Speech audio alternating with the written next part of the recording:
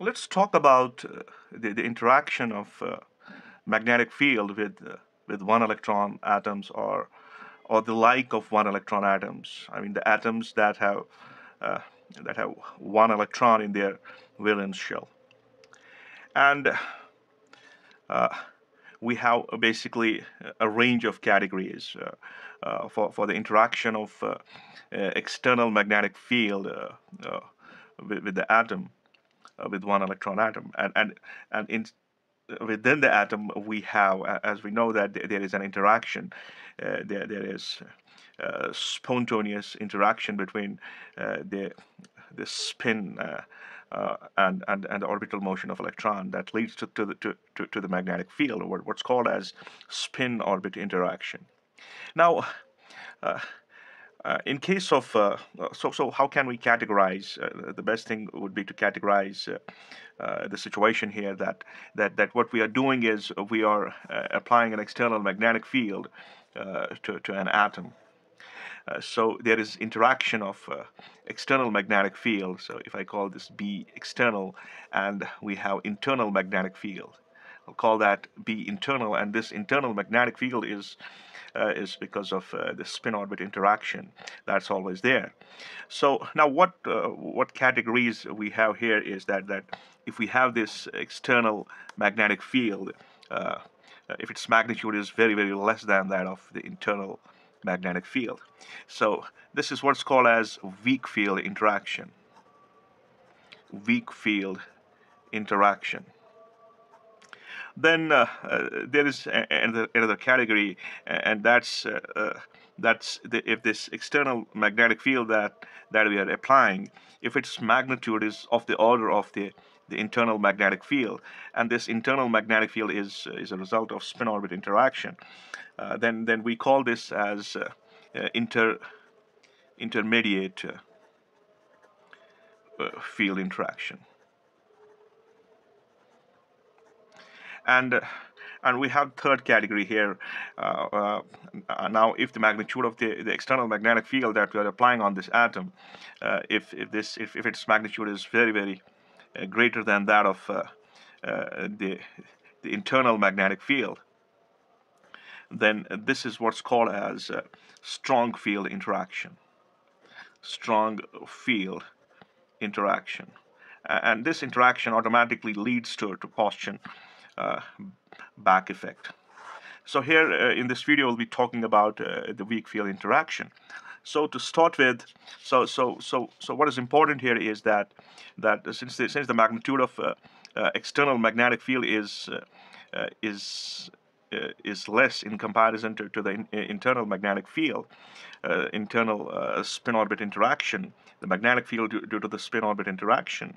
So this B internal can be uh, treated as unperturbed uh, term, uh, and the external uh, uh, magnetic field can be treated as as as perturbation to to the given problem. So.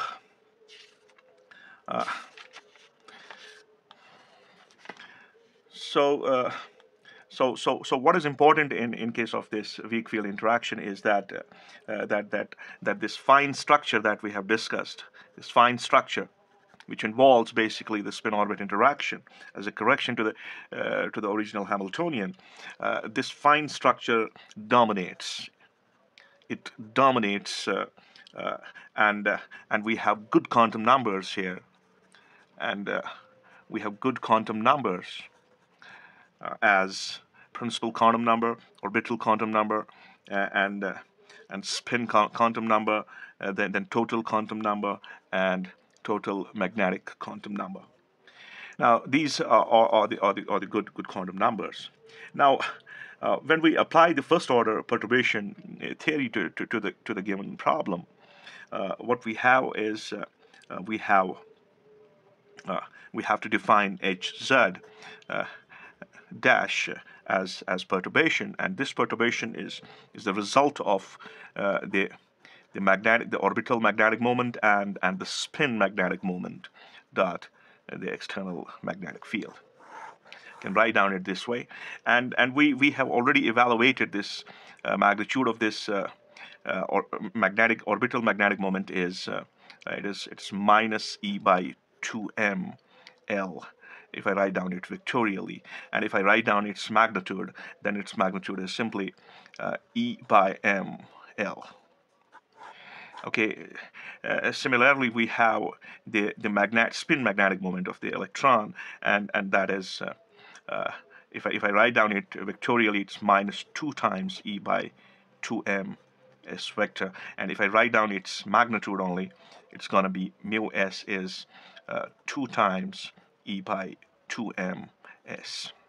So I can think of using the magnitude of uh, uh, orbital magnetic moment and spin magnetic moment uh, in this equation. So if I do that what am I going to get is uh, this uh, this Hamiltonian is is going to be uh, minus times I should write e by 2m outside. So inside I'll be left with L plus 2s L plus 2s and uh, uh, dot external magnetic field. So so this is my Hamiltonian for this this weak interaction. And what is important here is that that that that external magnetic field is is weak and uh, and and overall contribution uh, is is due to the spin orbit interaction. So fine structure is dominating here, uh, and and obviously this this external magnetic field can, since it's uh, it's it's weak, uh, it, it's it's it's slow, so so it can be treated as a constant in this problem. So so if I have to calculate this uh, the, the, the the energy correction, what will be that? That will be the, uh, N L uh, then we'll have J and MJ, and then we'll have this uh, this Hamiltonian uh, H Z dash N L M N L J M J. So we can use uh, uh, the, the value of h z dash uh, and what we'll be left with is we will have e divided by 2m uh, be external, uh, then what we will have is uh, normalizing NLJ, MJ, and and and H Z dash will have its expectation as L plus 2s. All right, so uh, we can we can move on from here as the correction is a dash and L plus 2s. Uh, L plus 2s uh, can be written as L plus S plus S. So this L plus S will give us J plus S. So I can think of writing Ez dash as E by 2m B external and the expectation of uh, uh, J plus S. Now, what's the what's the situation here is uh, what we have is uh, uh, we have uh, we have J and we have L and we have S. So this is L, this is S, and and this G is constant, right? So so we have the situation in which L and S uh, uh, they, they, they are representative of uh, the, the orbital angular momentum, spin angular momentum, and, uh, and total uh, angular momentum. And this J is, is constant, and, and this L and S, they, they precess, they, they precess along the, the component of this J. So, uh, so what we are trying to do here is that, that what we are left with is E uh, e z dash is e by 2m b external then j plus s. Okay so what we are trying to do here is is that we're trying to write down the, the average value of this s. And this average value of s can be uh, written s dot j uh, j by the magnitude of j scan and we can see that this is dimensionally it's uh, it's the same thing. You can have the cancellation of of j's and finally you're left with with s. Uh, and this equation gives us uh, the, the, average value of s that precesses along the z direction of j. And and we have uh, we have j is l plus s. And we can write down that uh, this l can be written as as j minus s and if I uh, if I write down the, the the square of this this will give me uh, l square l dot l is j minus s dot j minus s. So what we'll get from here is we'll get L square is is j square uh, plus s square minus twice s dot j.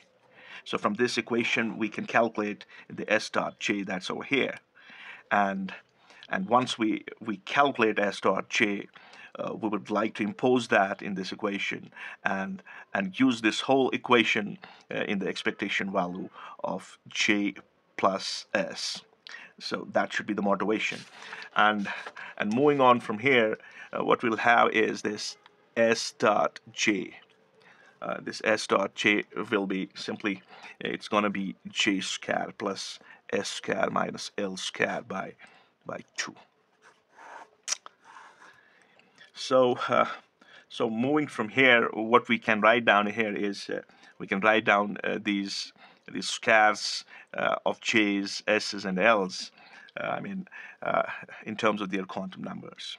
So they happen to be the eigenvalues. So what would we uh, expect from here is we'll have uh, we will have uh, for j square we'll have j times j plus 1 then plus for s square we'll have s times s plus 1 with, with every term we have h cross square minus l times l plus 1 so this j is the is, is the total uh, quantum number. Uh, s is the spin quantum number and l is the the orbital quantum number.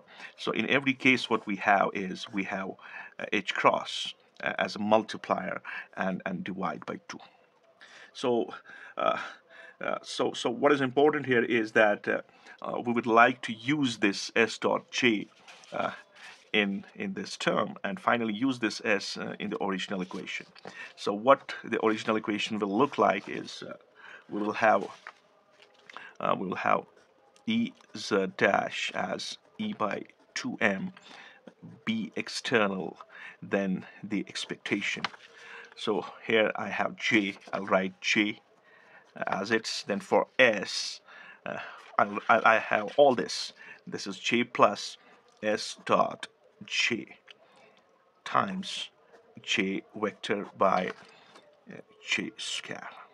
Alright so close it like this. Now I can use uh, s dot j in this equation and I can use for j square here. Uh, j square is j times j plus 1 h cross square. So I'll get uh, the, the correction in energy will come as E by 2m B external. So the expectation I write J here plus for S dot J what I have is J times J plus 1 plus S times S plus 1 minus L times L plus 1 so it has h cross as as a multiplier and and divide by uh, j square. Uh, j square is j times j plus 1 h cross square h cross square so this whole thing is is multiplied by by j vector. And and then we have the closure of this expectation. It's like this okay? So we can see we can have the cancellation of h cross square and h cross square from here. And I think I have missed 2 here. So it's 2 now we can see this j vector and j vector uh, we can uh, uh, we can take all the eigenvalues out and put the expectation value of of j outside because j is common for both these terms. So what we will have here is we will have e by 2m b external uh, times uh, yeah 1 plus because j is common so we'll have 1 here.